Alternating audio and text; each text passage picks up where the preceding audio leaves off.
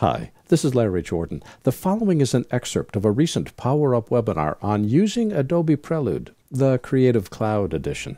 In this excerpt, I show you how to ingest tapeless media. So let's go to the heart of what Prelude is all about and click the Ingest button. This opens up the Ingest window. It's very similar to the media browser that's stored inside Audition or available to us inside Premiere. It allows us to view media before we actually import it. I store all of my media on a second drive, so I'm going to click second drive over here on the left hand side. That lists all the hard drives that are attached to my system. And my media files are stored inside the second drive, let's see, in a folder called Media Samples. Double click this. Now, this is a simple QuickTime movie, which I don't even have to, to ingest through Prelude. I can just import it into Premiere. What I want to do instead is to look at the actual camera card that was shot. And notice down here I've got a, a camera card that follows my naming convention. MH03 is the project code because this was shot by Miles and Fran Hale of Model Railroad Builders. It was shot in 2011 and August 15th. It was the A camera, it was the third card they shot. I like that naming convention.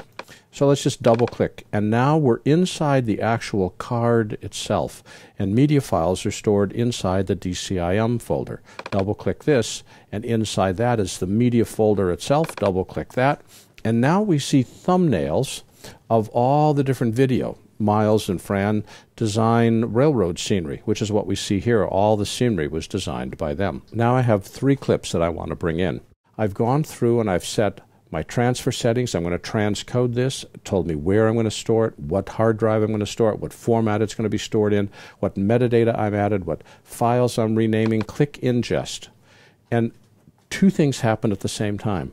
Prelude just sits there looking like it's dead but notice in the corner way down here it says ingesting and there's a gold bar that shows it's about 10% done. You could pause it or cancel the ingest because what's happening is in the background inside Adobe Media Encoder, it's going through and doing all the transcode work and all the ingest work. This means that Prelude is really just a front end. It's a front end to AME for transcoding and it's a front end to Premiere for bringing all this tapeless media in. It's a program specific specifically designed to make your life faster by integrating all the work of these other applications. Let's go back to Prelude.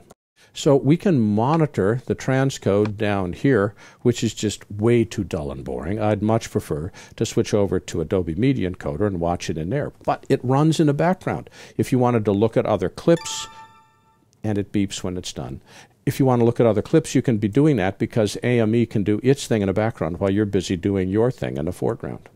If you need to stretch your training dollars, a subscription membership to our video training library saves you money.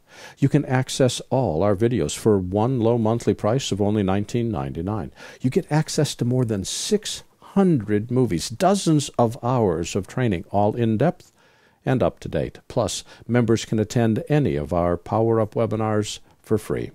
Our training covers Apple and Adobe software. We update it every week, and for more information, visit larryjordan.biz slash subscriptions.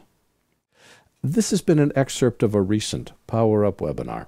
For the complete version of this online training, please visit our store at larryjordan.biz slash store and look for Webinar 103. Thanks.